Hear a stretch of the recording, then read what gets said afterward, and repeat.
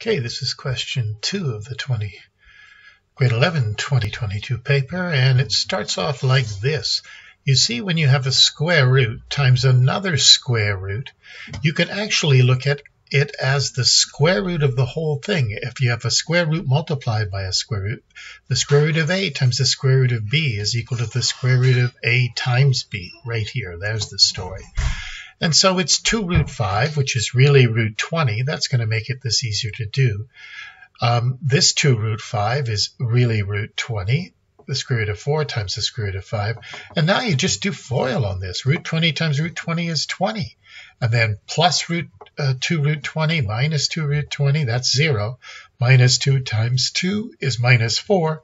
20 minus 4 is 16, and the square root of 16 is 4.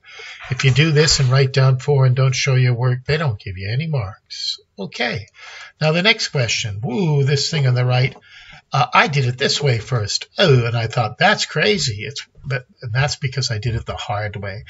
What you have to do, you've got this bracket, x plus 1 over root x minus uh, root x.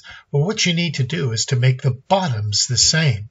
Well, if we multiply root x by x, it'll, uh, sorry, root x by root x, it'll turn into x. Well, that's a common denominator. This is root x over 1, so we can multiply 1 by x. Now, there's our common denominator. Top and bottom of this by root x. Top and bottom of this, we make it over 1 by x. And look what we get. We get x plus 1 times root x minus root x times x. Well, hey, root x times x minus root x times x, that leaves, that leaves, oh no, hey, sorry, you've got, um, let's see what we have here. We have root x times 1, that gives you root x.